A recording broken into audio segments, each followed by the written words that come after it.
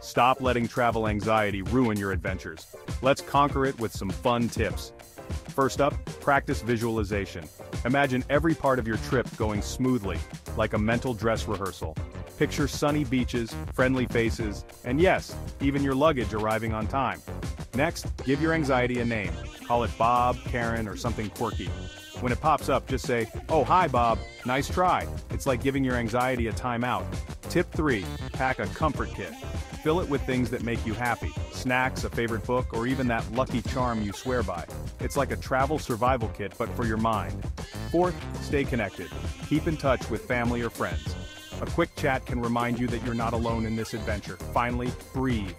Sounds simple, but deep breathing can work wonders. Inhale confidence, exhale anxiety, repeat as needed. If these tips helped, give this video a thumbs up, share with your fellow travelers, and hit that subscribe button. Happy travels!